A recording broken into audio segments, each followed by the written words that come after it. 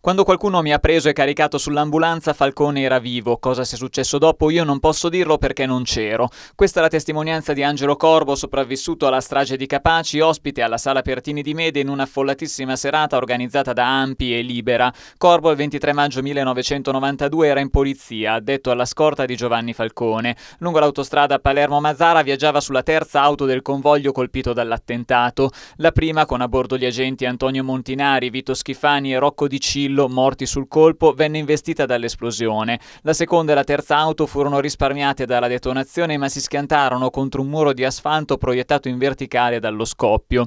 Giovanni Falcone e la moglie Francesca Morvillo morirono due ore dopo in ospedale. L'autista Giuseppe Costanza, così come gli occupanti della terza vettura, si salvarono. Corbo non può dimenticare gli attimi successivi all'esplosione. Sceso dall'auto, andò insieme ai colleghi a fare da scudo umano per proteggere Falcone da eventuali cecchini che con tutta probabilità erano nei paraggi paraggi per assicurarsi che la mafia avesse raggiunto il suo obiettivo, pronti nel caso a sparare al giudice per il colpo di grazia. Falcone era vivo, ma nessuno sparò.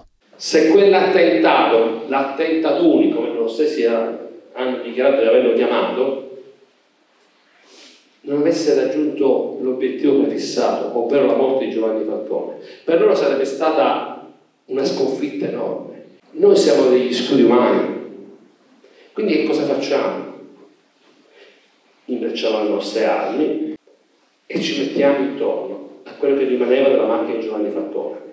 Il racconto di Corbo non va alla ricerca di teorie alternative, si basa semplicemente su quello che ha potuto vedere con i suoi occhi. Gli agenti di scorta sopravvissuti erano stati portati via in ambulanza senza poter fare alcun passaggio di consegne. In linea teorica sarebbe stato facile per un eventuale infiltrato tra i soccorritori effettuare manovre sul corpo di Falcone per assicurarsi che morisse. Non c'è però nessuna prova, è solo uno dei tanti punti ancora da chiarire. A Corbo di quella giornata, tra tanti dolori, ne rimane uno più di altri. Aver scherzato qualche ora prima con un collega che avrebbe perso la vita da lì a poco affermando di essere convinto di aver giocato al Totocalcio una schedina con cui avrebbe fatto 13.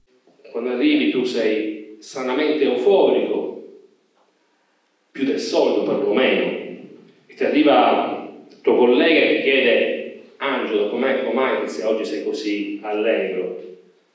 E, e tu gli rispondi perché sono sicuro che questo fine settimana farò 13 a Totocalcio. Quella schedina Angelo Corbo non ha mai avuto il coraggio di controllarla, quella svolta del destino che forse era riuscito a intercettare nell'aria era di tutt'altro colore.